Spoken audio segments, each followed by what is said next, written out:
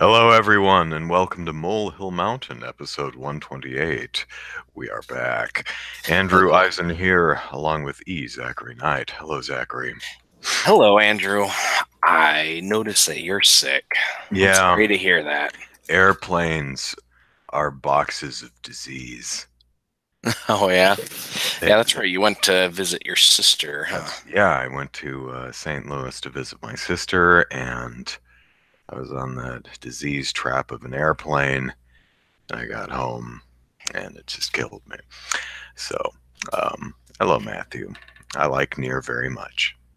I think you like it better than I do, but I did like it very much. um, very good game. You know, um, really, uh, most of my eh, complaints about the game are relatively minor.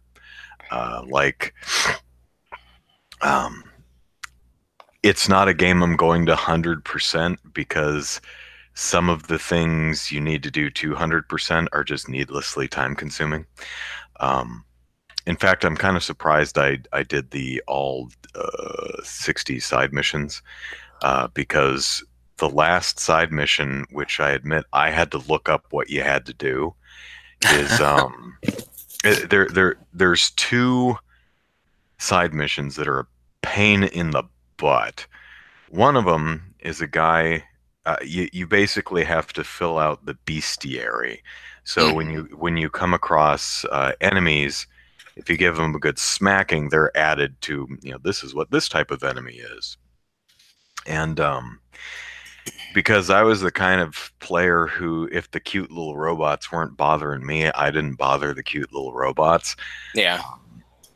It that forced me to go kill a few things that I never bothered killing before because they never bothered me.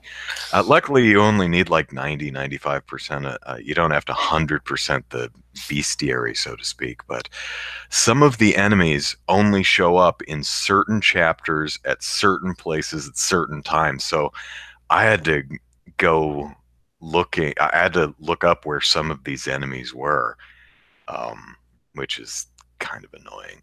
Uh, Yeah. But but the last quest, I had to look up, and it doesn't show up until you collect every weapon in the game. And I had to look up where some of them were because some of them are just kind of randomly hidden. Like one that sticks out. th- There's a sword that's just hidden in the desert somewhere, and you have to use a special scanner and just kind of wander around and happen to be near it, and the scanner goes boop boop boop. Um, Yeah. as so far as I know, there is nothing that like. uh, There's no person in town who's like, I hear tell of a sword buried in the sand near the rock that casts the shadow at noon. It- you know, no real hint that would put you in that area. It's just you'd have to stumble across it. Um, so that was kind of annoying. Yeah. Uh, not the biggest deal. These are minor complaints. Um, it stops me from 100%ing the game, but uh, I did get the, the main A through E endings and really quite enjoyed it. Although the game can be kind of a downer. Uh, it, it is definitely a story and mood that you have to be in the mood for because everything is hopeless. Everybody dies. Everyone is miserable, know. And at some points, it's like, yeah. oh god, this game is so depressing.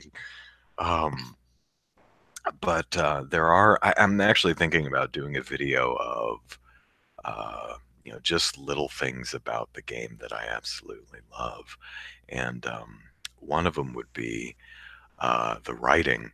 Uh, is re especially some of the menu descriptions, and I think my favorite are the um, fish descriptions because you Mhm. can go fishing in this game. Because why the hell not? Um, uh, and so I actually did spend a fair amount of time um, uh, fishing, trying to fill out my fishiary. Uh, because I, I found some of the descriptions for the fish just to be some of the funniest, and I don't have the game running right now. I, I'd read some to you. Um, but uh, unfortunately, the fishing thing is I, I had to look up some fishes and where they were, and they're like the fish is here very rarely. It's like it would be the kind of thing where I'd spend ten hours fishing to to, to try and get. I'm like, okay, I, I, I don't need to do this. Um, Yeah.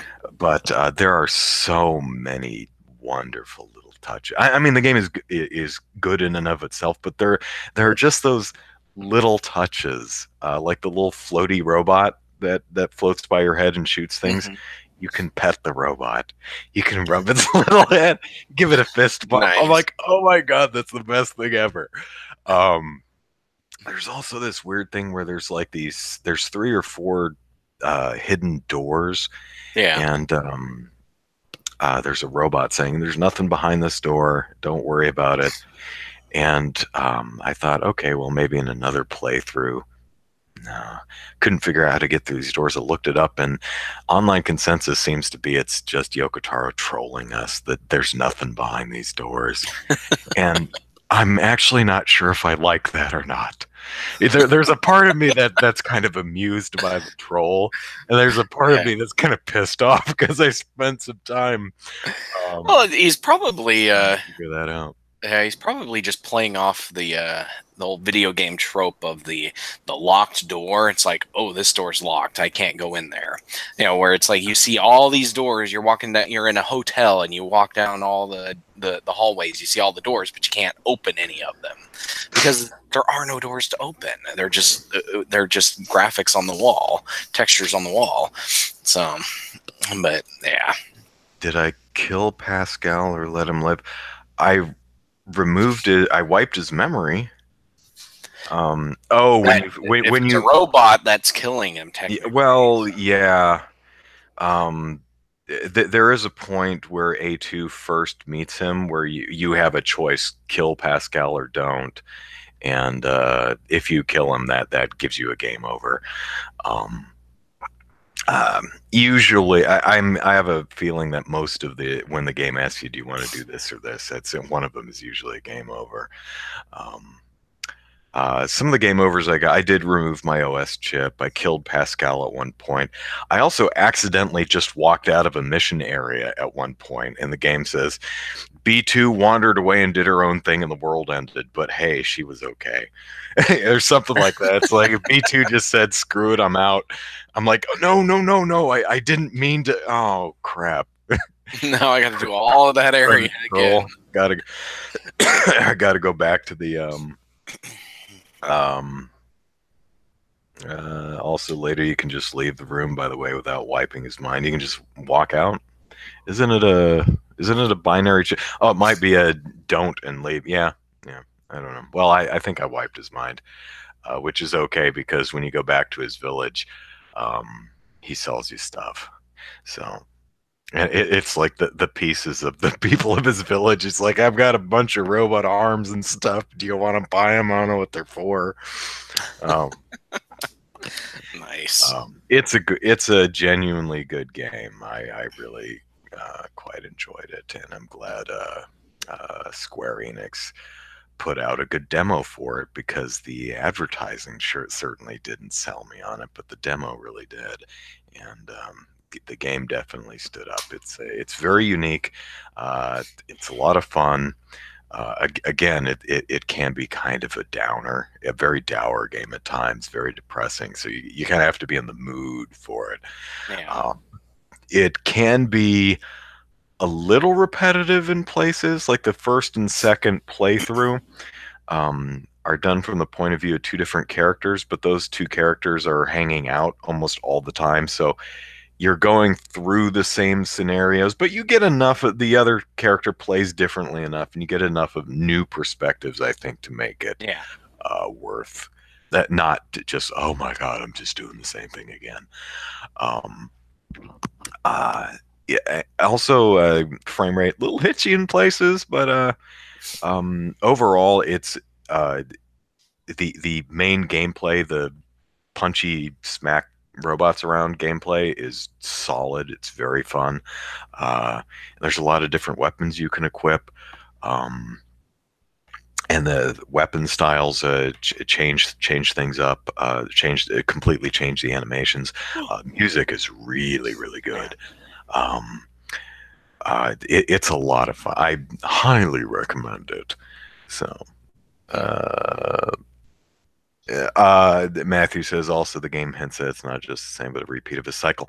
Um, eh, uh, getting close to spoilers, I guess, but the game is a year old. So, um, yeah, the, the, any repetition you see uh, in the game, there is a story there's a narrative reason for that which is one of the interesting things um, about the game is that um, every mechanic um, is kind of justified and explained in universe. Yeah uh, to give you the lightest of examples, because I think experiencing it is part of the fun, is all of the elements of your HUD are little plug-in chips. Uh, so you collect little plug-in chips, and some boost your firepower, some will regenerate your health, some will give you new moves, things like that. But um, as we talked about earlier, you're oh, you have a finite amount of memory, so you can only use so many plug-in chips. But uh, some of your memory is taken up by your operating system, but also all of the uh, you know the health display and the mini map. Those are plug-in chips, and you can plug them in and out too. So everything you see on the screen is actually part of your character's internal um, uh, operating system. Uh, so, cool. yeah, so it, it's like, oh, uh, seeing a character. You'll see games like, um, I think Legend of Zelda does this, where there's like an expert mode that gets rid of almost everything on the screen. Um, because it's like I'm a real adventurer. I don't need to see a mini map that just takes me out of the experience. Well, in Nier Automata, there's a reason you can see a mini map because you have that chip plugged in you know um, so uh, so that's um, some really really really uh, the witch time chip is op yeah the uh, it's not called witch time but it was very bayonetta. Uh, basically there's a if you dodge at the right time it slows time. Um, uh, one chip that I plugged in and never looked back was a um, if you don't get hit for like six seconds, your health slowly starts rebuilding, and um, that was all I needed. so, um, nice. hey Suzanne, yeah. Anyway, uh, Nier Automata, uh, very good game. Uh, and uh, very a special game. It's it's very unique, um, so I recommend it. Uh, now, now, I'm playing Danganronpa, which is uh, kind of a visual novel game. Yeah. One of those, uh, kind of like a uh, battle royale, where a bunch of kids in a in a space and they all have to kill each other or they all die, kind of a thing. Fun. So. Yeah. See, I I got uh, I got an NES classic. Well, it was a family gift uh, for Christmas, and and uh, I'm really enjoying it. Uh, I've already added games to it. Uh, I, I stuffed it full of, of NES, Game Boy, and Game Boy Color games, uh, and uh, and I'm really liking that. Uh, my kids have been playing uh, the Pokemon games, and having my son is playing Pokemon Yellow, and my daughter is playing Pokemon Crystal, and and me, I I'm or Super I, NES versions of those games, or did you? no? Game Boy ones. Oh. Yeah, you can load Game Boy games on there. You can load uh, just about. well, I mean, there was a Game Boy. Uh, there was a Game Boy player for the Super NES, so it, yeah, it works. Well, yeah, but you you can you can load emulators for just about any system onto these things. Um, uh, some of the options that that are there all the way up to uh, PlayStation One games. Uh, uh, through the uh, the the mod tool that I used, and uh, and it was so that was kind of neat. Uh, so I bounced around a bunch of games over the last couple of weeks, and uh, and I'm finally I finally settled down on to one specific game, and so uh, right now I'm playing Final Fantasy II, the original NES one. Uh, is that the Japanese one or the, the English? The Japanese one. Okay. Uh, so. Um, I wish they had uh, subtitles so we could tell them apart. Yeah. I always have to ask Well- the Japanese or the North American. Yeah, I I've gotten to the point where I just uh, like if I'm talking about Final Fantasy two or three on the Super Nintendo, I don't call them that. I call them four and and six, Sure. um, just just so that you know there's less confusion. Um, but we have decreed that we shall only refer to Final Fantasy games by their Japanese numbers. Yeah. Um, so uh, Final Fantasy II is the only pre PlayStation 2 Final Fantasy that I haven't played yet. Um, I've played all the other ones. Um, so I've played all the way up to 10.2. I haven't beaten 10.2 yet. Um, and I haven't beaten Final Fantasy 3 yet. I got Final Fantasy 3 on the Ouya, which is the uh, the mobile the mobile version of it. I guess it's also the DS one as well. I think it was on the DS, but uh, um, but yeah, I played that all the way up to the last dungeon, and then I got kind of tired because the last dungeon it's like three hours of gameplay with no save points, and uh, I'm just like, yeah, I'm not gonna deal with that right now. Um, but Final Fantasy II is very interesting um, and and it it's set apart by from all the rest of the Final Fantasy games because it uh, they they decided to try something different with uh, leveling instead of just fighting monsters, getting experience, and leveling up. You gain you you increase your abilities in certain attributes through specific actions that you take. So if you want to increase your sword prowess and your strength, you fight in battle with your with your sword. If you want to get better at using a spell, you use the spell and and you get better at it. Um, but it has some weird issues like if you want to get more HP, you have to take damage. And so um, I've been playing for about three hours now, and I haven't gotten past the first area because I'm just sitting there having my characters beat each other up to to get their HP up because you start out with some crap HP. The monsters in that area don't do much damage, but but man, it's like you step outside of that first area and and you'll get slaughtered. Um, so so yeah, I'm uh, I'm I'm just trying to get my characters HP up. I think most of them are or the the first three characters are over uh, 200 HP now, which is which is good for early game, but I want to get that up uh, uh, pretty high. And yeah, it is kind of dumb. I, I I'm I, I'm I'm having fun.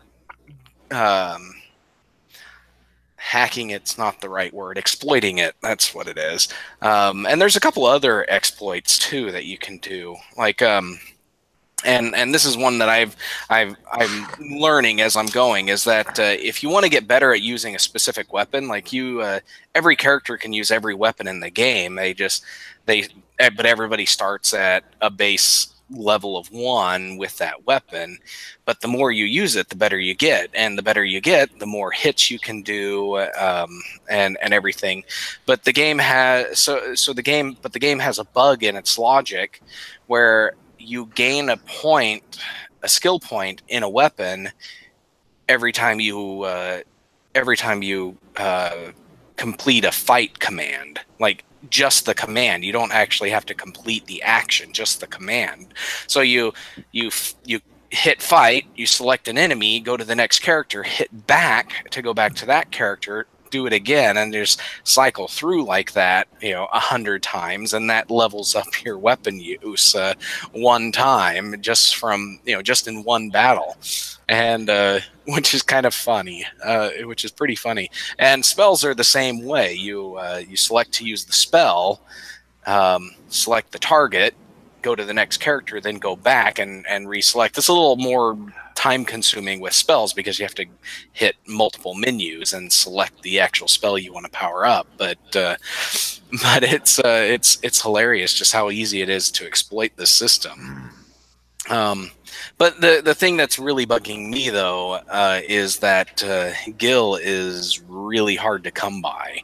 Uh, the monsters in the first area you're in don't give you squat, but if you want useful spells, they cost like like say the the basic fire, bolt, and ice spells use uh, are are they each cost 400 gil to buy and you want to buy at least one of each for your first character and uh, and and that's 1200 gil but you're only getting like 10 gil at, per battle 10 to 20 gil per battle. That's a lot of battles to go through.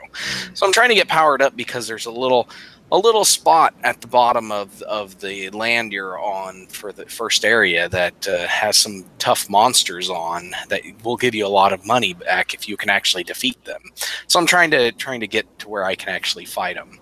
Um, Luigi says that he heard the the late game late game spells are awful. I haven't uh, had a chance to to look at that, but uh, from what I've read, um, if you exploit the the leveling up uh, bug for the th- three basic spells, that's pretty much all you're going to need the rest of the game. Like if you get those up to level five or six each, you're you're set. You don't need things like um, flare and and ultima and all that kind of stuff.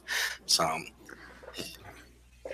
but yeah, I'm I'm uh, having fun. It, it's know, it's a little bit of a chore and a grind, but I think it's a fun grind. It's not like it's not like where you get to a boss and you find out, oh, I'm like six levels below what I need to be to fight this boss. I'm gonna have to sit here and grind so that I can actually fight the boss that I already managed to get to at my current level.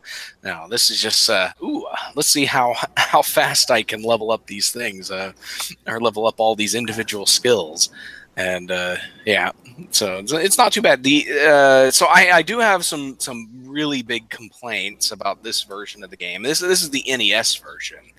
Uh, hmm. so and it's built on the exact same engine as the first Final Fantasy, and so it has um, it has that problem where if you select an enemy uh, to attack, but that enemy runs away or or dies by somebody else's attack before your character can uh, can uh, hit it, you basically swing at nothing, and uh, and that is that is pretty pretty really stupid, and I hate it.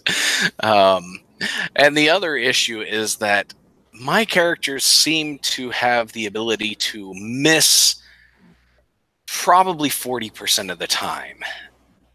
Like literally they will miss 40% of the time and and I can't I can't it, it just drives me nuts. It's like, okay, let's attack.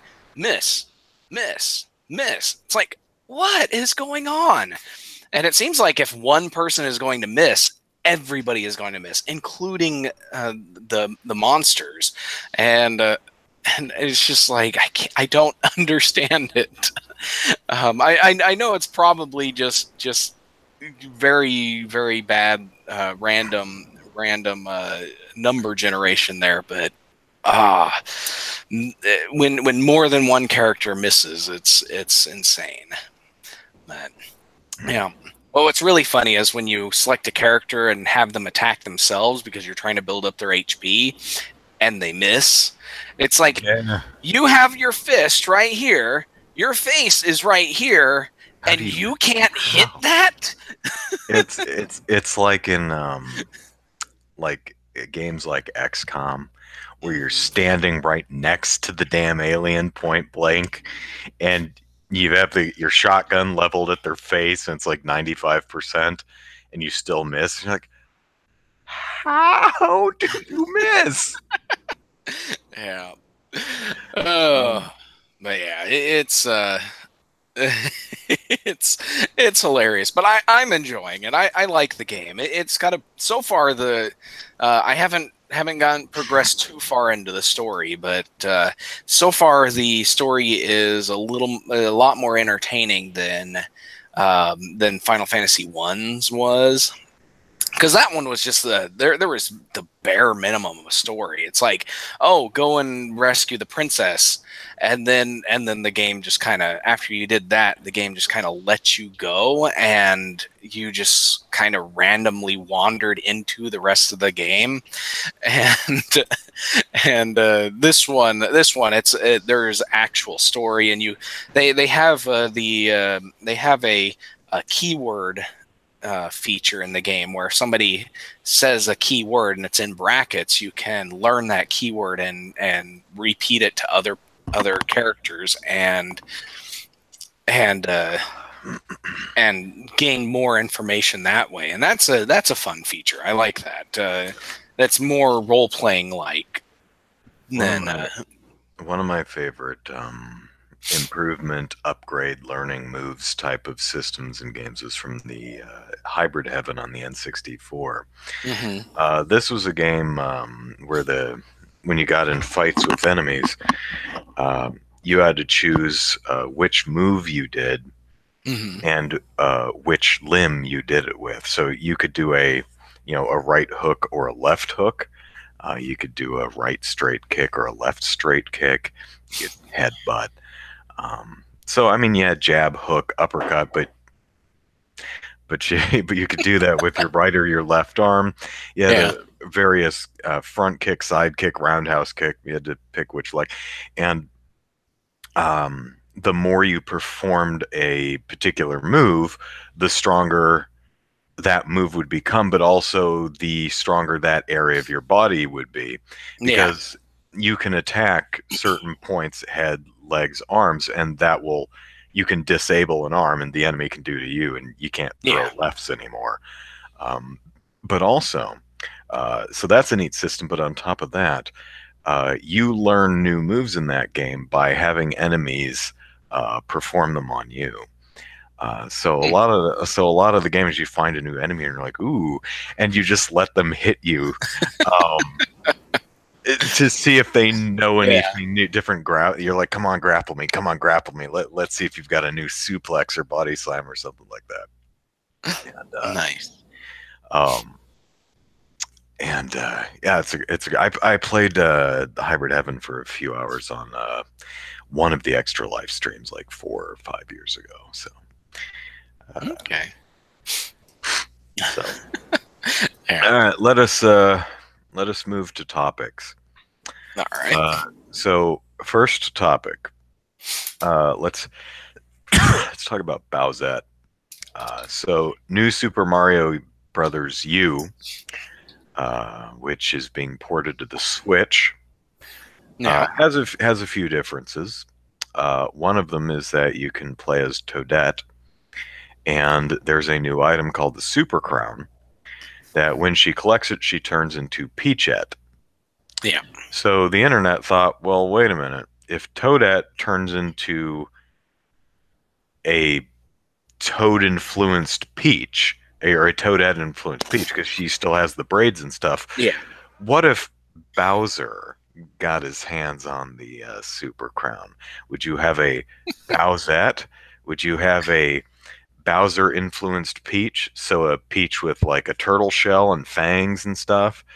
Um, now, one of the interesting things is this, uh, according to an art book, this actually was an idea that Nintendo had at one point. Um, although it was, uh, I, I think it was for Mario Odyssey. Um, uh, rather so the, the hat thing rather than the um uh the the super crown but uh, they had the idea of this bowser influenced uh a peach design Mhm. and uh so the the the, the nintendo website for the game new super mario brothers u deluxe uh, is up and a lot of sites took note that the uh description for the super crown reads when Toadette finds one of these, uh, the Super Crown, she can transform into the super-powered Peachette. Parentheses. Sorry, Luigi. Only Toadette can use this item. because there was a lot of things like I wonder if anyone else in the game can. Uh, now Bowser's not one of the playable characters in New Super Mario Brothers U, but Yeah. uh, Mario, Toad, and Luigi are. So could they get a Super Crown? No. According to this, uh, in uh, New Super Mario Brothers U Deluxe, only Toadette gets the Super Crown and can turn into Yeah. Peachette. Yeah, and from what I've read, uh, if any of the other characters t- uh, grab it, they just get ten coins instead of uh, instead of any kind of power up.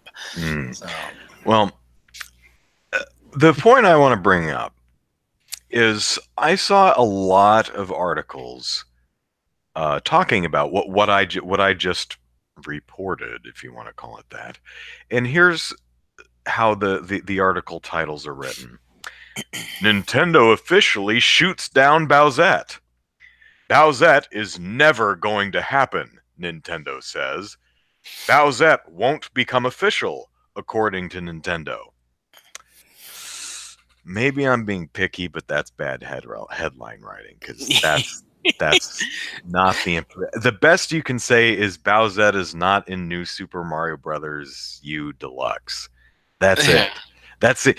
This wasn't an interview, and they're all citing this part of this the, Yeah, the game uh, web page. Yeah, it's just they're just quoting that little blurb about how the power up works. Yeah, and that- that's it. Know, and The- and it, which is crazy. There's no no 'cause this- official statement. Bowsette, eh, you know, for all we know, Bowsette could be one of the upcoming DLC fighters in Smash Brothers Ultimate, yeah, yeah. see, this is a, an or example at least an of alternate costume. Yeah, this is an example of of uh, the article body of one of these articles. It says now a week ahead of Switch game's launch, Nintendo has answered the question for us. There is no Bowsette, and then they quote that I, that blurb, um, and uh, and then that's it. It's like. Okay, where does Nintendo that say that Bowsette will never happen? It, it doesn't. They don't actually say that and and yeah that, uh, to me that is uh that is clickbaity because because you you you see that and you see you see a headline Bowsette is never going to happen Nintendo says you they think didn't that- say anything. yeah It's you, you, you would think that there's best. actually a quote from a Nintendo Yeah. representative addressing the Bowsette uh, uh, meme and no they they don't there's nothing in there about that um, so yeah, I, I I'm not a big fan of these headlines.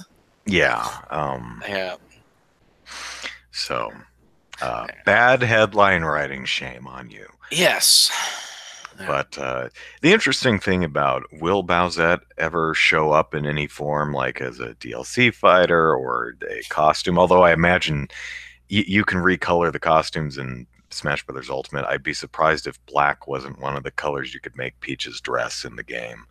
Um, but I doubt she gets a turtle shell in the back. You know.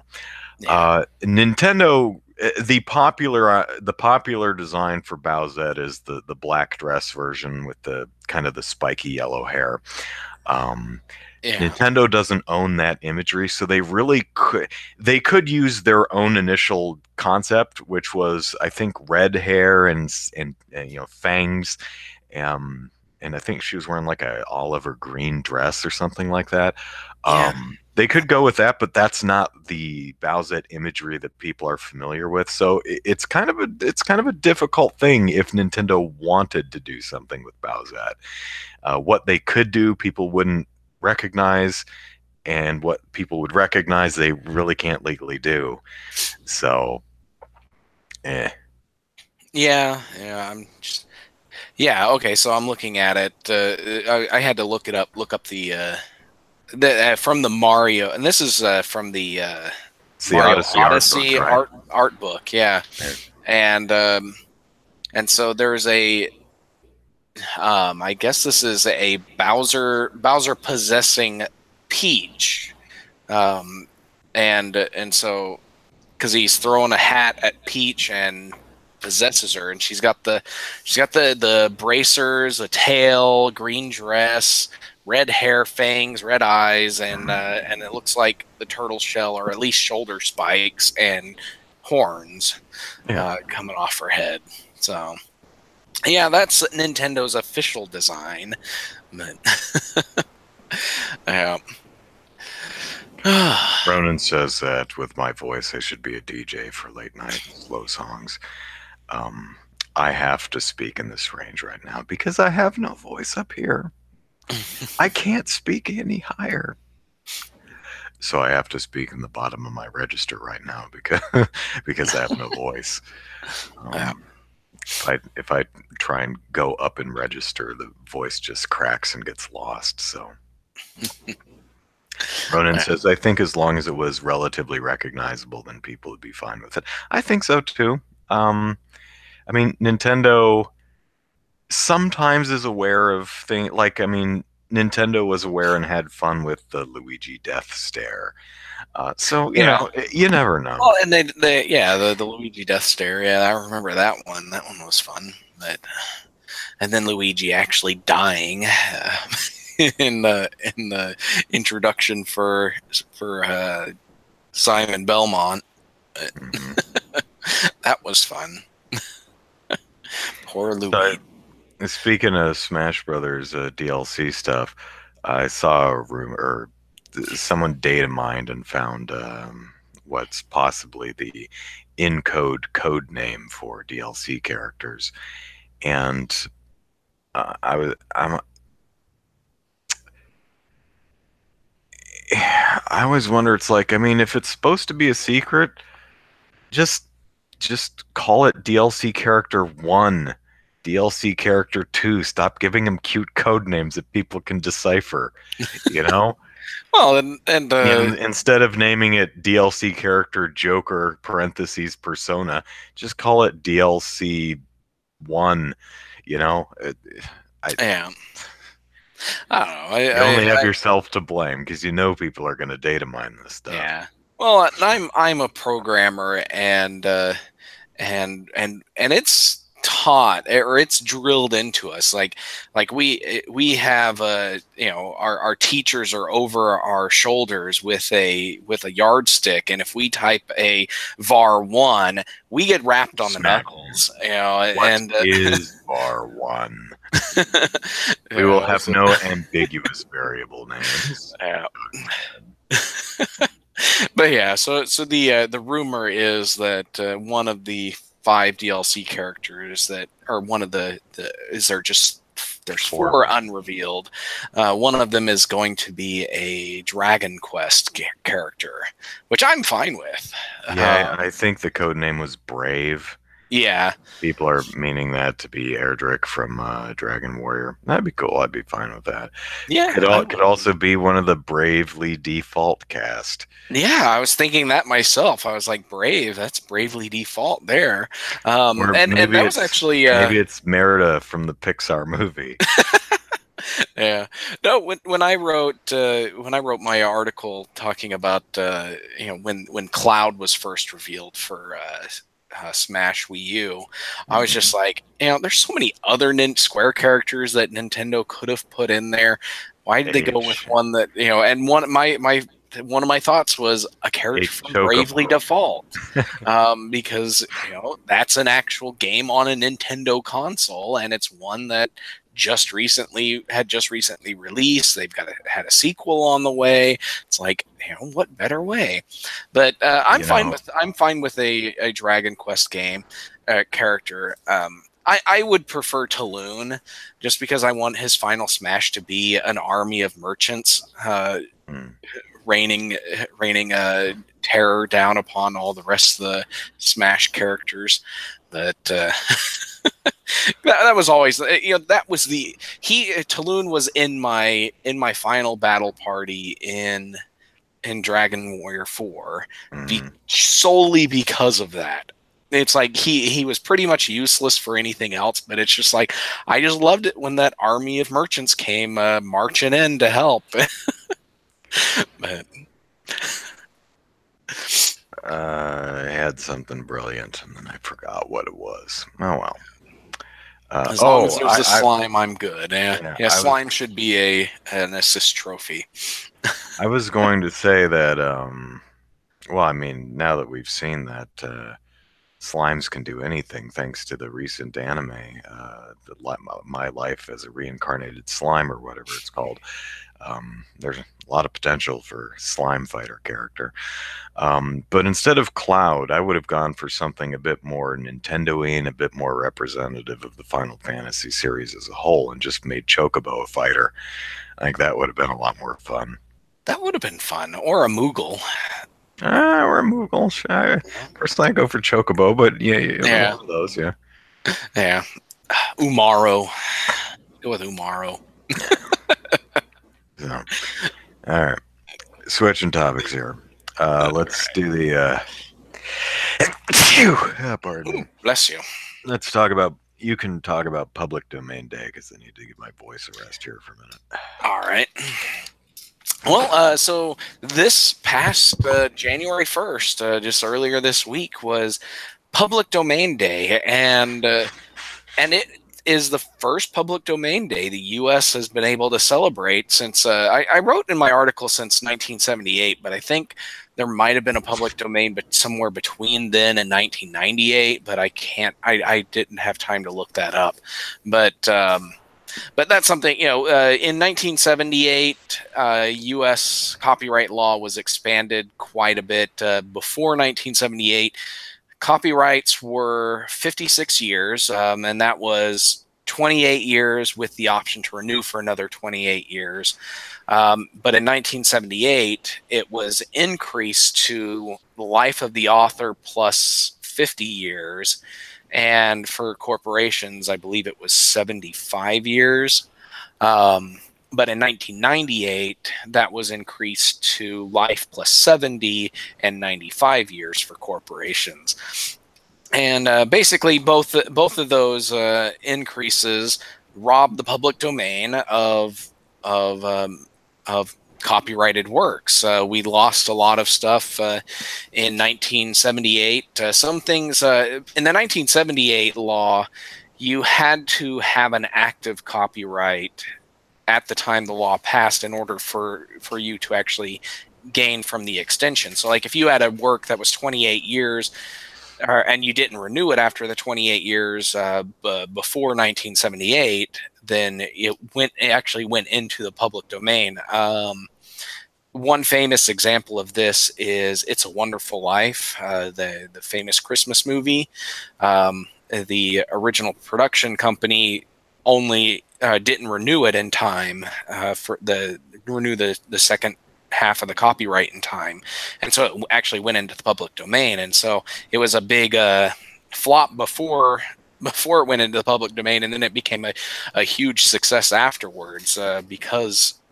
Uh, television companies were free to to broadcast it around Christmas time, and so they they broadcast it, uh, you know, to death, and it became a a Christmas tradition. And but uh, so this year, um, so so for the last uh, twenty to uh, 20 to 40 years, we haven't had a copy or haven't had a public domain day in the U.S. But today we or this week we did, and um, and so I wrote about it. Uh, and you know, I didn't write, I didn't do, you know, I, I don't do a whole lot. I just kind of, um, I, I follow uh, the Duke Law School. Uh, every year they they publish their their public domain uh, um, review, uh, and and so they pub you know the last few years they they've had lists of stuff that would have gone into the public domain if we still had uh, 1970 or pre 1978 copyrights. Um, but this year they actually published a, a, whole bunch of stuff that actually went into the public domain this year, and this is all works from 1923. Uh, so that uh, that gives you an idea of how long copyrights are. Um, nearly a hundred years later, we're finally getting these things entering the public domain, and and uh, there's some good stuff in there. But uh, so so uh, from movies, we've got the Ten Commandments uh, from uh, directed by Cecil de uh, B. DeMille, The Pilgrim. it's a Charlie Chaplin film. Our Hospitality, The Covered Wagon, Scar- Scaramouche um, you know, and a few other things. And these are just an, uh, a sample. There's actually a uh, they published a spreadsheet of just hundreds upon hundreds of works in different categories from film, books, television. Well, I guess probably not television. I don't know if television was a thing back then, um, but uh, radio, music, uh, all that kind of stuff. Um, some sample books that they they wrote were uh, Edgar Rice Burroughs' Tarzan and the Golden Lion. I don't know how many Tarzan books are left. Uh, I know there's a few Tarzan books, a few uh, uh Princess of Mars books, and um, and then still some uh, Sherlock Holmes stuff, and a few things like that that are still that parts of them are still in the are still copyrighted, but other parts aren't. Um, but other books, Agatha Christie's The Murder on the Links, Winston Churchill's The World Crisis, Robert Frost's New Hampshire. That's uh, one that people are a lot of. I've read a lot of people are excited about. Um, and then music, we got the Charleston. We yes, we have no bananas. Um, that one's one I'm excited about, just because I, I, I do like that song. Yes, we have no bananas. Um, and uh, the Tin Roof Blues, and uh, and then some uh, sonatas and and other things. And and so this is uh, you know just you know I find this personally fascinating. I, I like uh, I I like hearing about these things and uh, you know that all these things are now freely available to us. And and this is just the um, the entertainment side of things. You know we're finally getting uh, some uh, uh, scientific works as well that are finally entering the public domain. And um, and i don't uh, you know I, I don't know exactly how relevant uh, scientific uh, research is uh, uh, today. You know, stuff that was uh, performed back in 1923. Um, but it would it would be very interesting to have some public reviews of of that scientific research. Um, but yeah, hopefully uh, some good stuff will come out of this. Um, one of the things that actually caught my eye is that itch.io um, is running currently running a game a game jam uh, for the month of January to make games based on these public domains works that that were just released, and uh, and they're they're actually going to be rewarding uh, prizes uh, for um, you know for for these things. You know so some of the some of the categories they're going to be judging are best analog games best digital game best adaptation of a 1923 work best remixing of multiple sources um, best deep cut uh, and in parentheses they say use a work not listed on any of the roundup articles. Uh, so so you know stuff that uh, um, duke law school listed would uh, likely not qualify for a deep cut. But uh, there's some really good uh, um, judges as well. Uh, Cory Doctorow, uh, he's a he's an author, uh, one that I've read a few few of his things. Um, Dan Bull, he's a, a singer from from from England. He does a lot of a lot of video game related rap songs and and stuff. So he's really mm-hmm. cool. Um, Mike Masnick, he writes. He's the uh, the owner and editor of Techdirt, um, and so and then a few other uh, a few other people that I can't recall who they are just off the top of my head. But uh, but yeah, this is really cool, and uh, they've already got two submissions, so.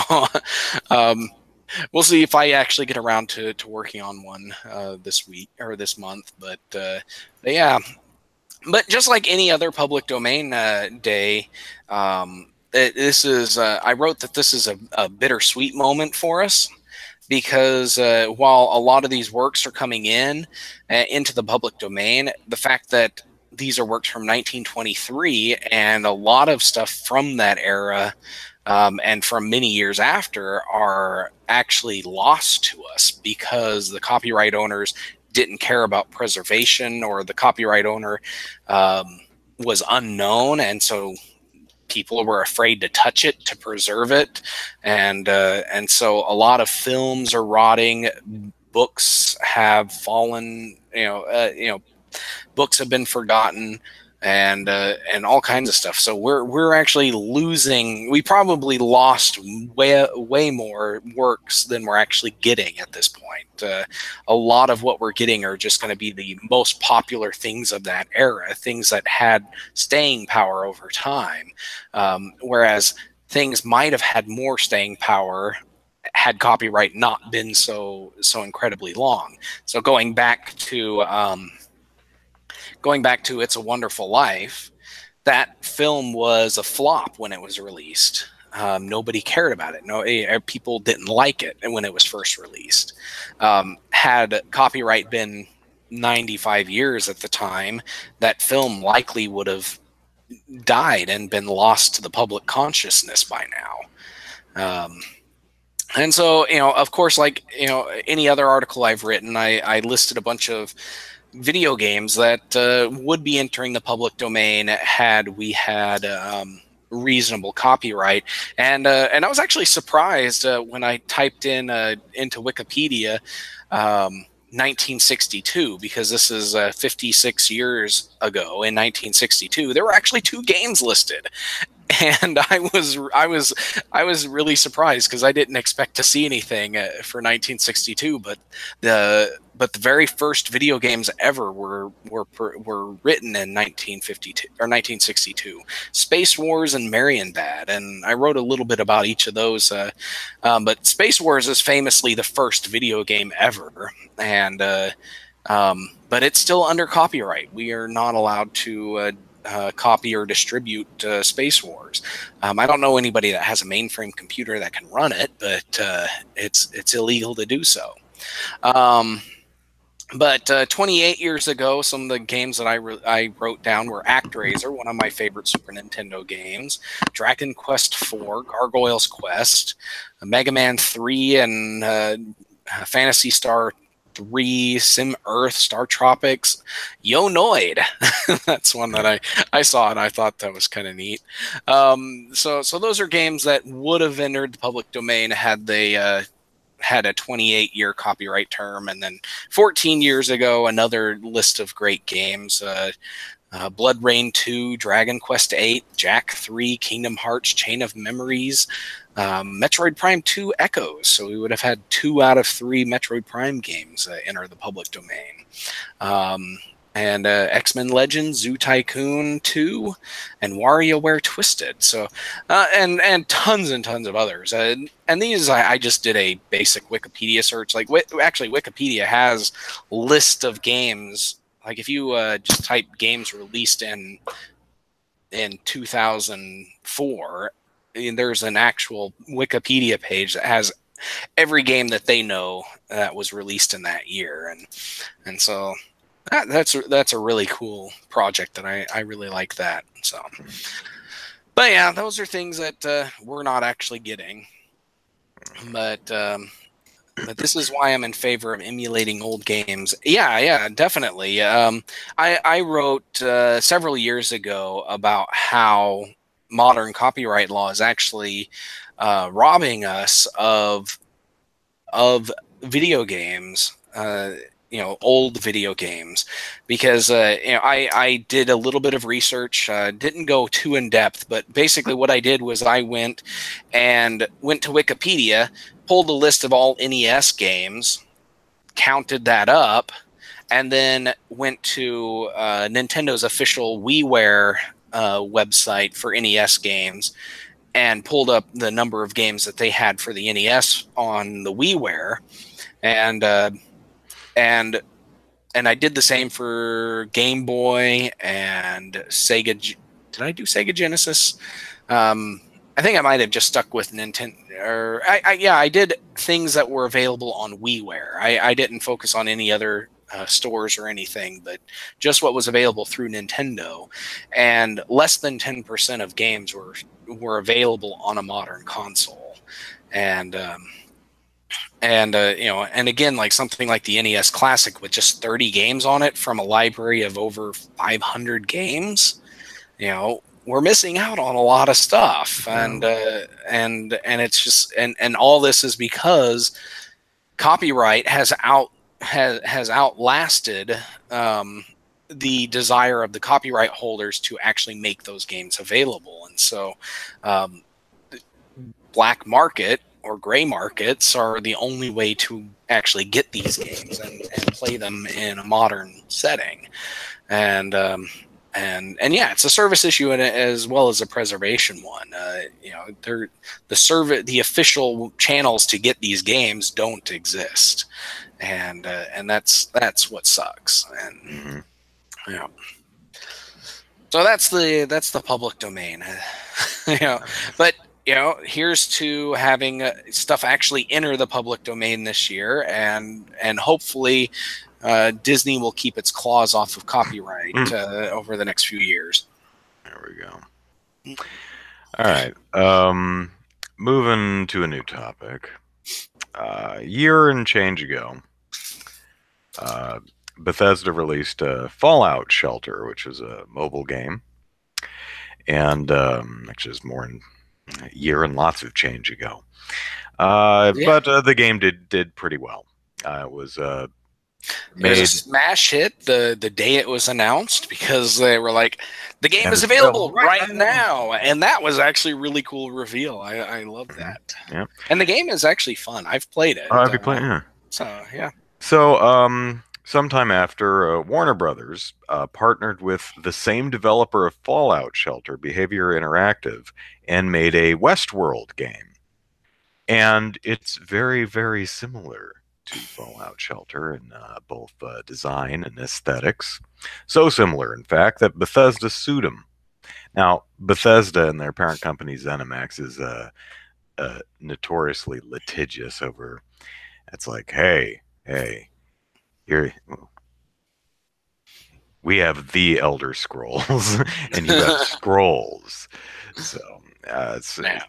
so they sue over everything. But this one actually, you look at it and you're like, that does look a little similar.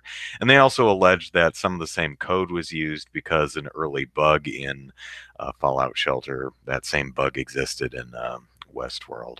Uh, so that was a big legal fight. Uh, that has now been, res- oh, pardon me, resolved, and it has been re- resolved amicably. Uh, said Bethesda in a statement. Uh, so all we know is that um, both sides have resolved the dispute, and they are paying their own uh, Legal court fee. costs and attorney fees. Uh, and the case is dismissed with prejudice, which means that uh, Bethesda can't uh, sue Warner Brothers for the same thing again. Yeah. So, what exactly does that mean? Does uh, it could mean any number of things, I suppose. Uh, it, it- what sounds likely to me is that, um, I, I mean, you'd think if this if this was a settlement, that would have been noted. It, it would have specifically said they both paid their own costs and legal fees. Well, that could be it. You know, a settlement doesn't have to mean that somebody paid the other party. A settlement could just be uh, they both agree that that the the fight isn't worth it, and they're just Mhm. going to stop. Yeah. Um, you know eh, that that you know. Um, I, like, I think right, what here's a, here's a buck. yeah, I think what what what we have here is a case of big fish tried to take on other big fish and realized that other big fish was willing to go the extra mile to make sure that uh, Both big fishes realized they were big Yeah. fishes and had the resources to fight this for years. Yeah, And like, exactly. you know, ins- instead of dumping millions of dollars into this, just go home. yeah that that is my takeaway from this is that that uh, Bethesda realized that they picked on the wrong crowd. I, I think uh, had it had it been just a small time developer or like or just the developer that made the game itself and they did and and there was no re you know there there was no Warner Brothers IP involved Mm. I think Bethesda would have would have went a lot further in in this legal battle, but because Warner Brother was involved, and Warner Brothers is a lot bigger than Bethesda and, and ZeniMax, that uh, that they were just like, yeah, I think we bit off a little more than we could. Probably would have ended up some a battle of attrition here. Yeah, yeah, it would have been a, a lot of time and money just just sunk into court battles. I, I you know, I don't think it ever would have gotten all the way to like a, the Supreme Court or anything, but it definitely would have made it to a, uh, a federal appeals court uh, had had it went went uh, forward. But but yeah, it, it's. It, I, I think it was a a pretty tough um, case for Bethesda. Um, you know, they worked with a third party to make their game. Mhm. You know, that third party went worked with somebody else to make a very similar game. Yeah, it's just like that's kind of what happens when you work with a third party. Is It's that the same company. Obviously, their work's gonna look similar. Yeah, especially when uh, when you know they're known for something popular like Fallout Shelter, and somebody else comes along and has a very similar, uh, or has Make a very something uh, popular like Fallout that- Shelter, but with our Yeah. IP. Yeah, Alright. exactly. You know, we got this IP. We really like this game that you made, and we think it's a good, you know, our IP is a good fit for that play style. Make something similar and get it out on market. You know, yeah, a lot of the same thought process, a lot of the same um, technical uh, know-how is going to to work its way in, and uh, the developer. I really wish this article that I'm reading had that other developer in it, uh, the name of the other developer, but I can't. Oh, um, no, I'm, I'm not spotting the other. Are you name. talking about Behaviour Interactive? Yeah, there we go. Behaviour interactive. I'm just. Oh, there it is. Okay, I'm just kind of glossing over their name. Um, you know, uh, when when this uh, lawsuit was initially brought forward, Behaviour Interactive was like, you know, we had a, a base set of code that we had written before we had contracted with Bethesda, um, and that stuff is not under contract, is not part of the copyrighted works that Bethesda is is allowed to use. We can use this this other code, and and this other code goes in is, is what we started Westworld off of, and um, in the same way we started Fallout Shelter off of, um, but we aren't reusing any of Fallout Shelter specific code in the Westworld game, and you know, to me, I I I felt that that was a very compelling defense, and probably would have, um, uh, probably would have swayed a jury or a judge in uh, in behavior and and Warner Brothers' favor, um, which could have also impacted this uh, this final settlement and why uh, they're both walking away. Um, so, yeah, very uh, very interesting case. Very, uh, I, uh, you know, I, I Uh, we- haven't. I'm. It's just. It's not my business, but it is uh, curiosity that makes me. I want to know more. We're Oh, never yeah. going to know more, but I'm like, I want to know what happened.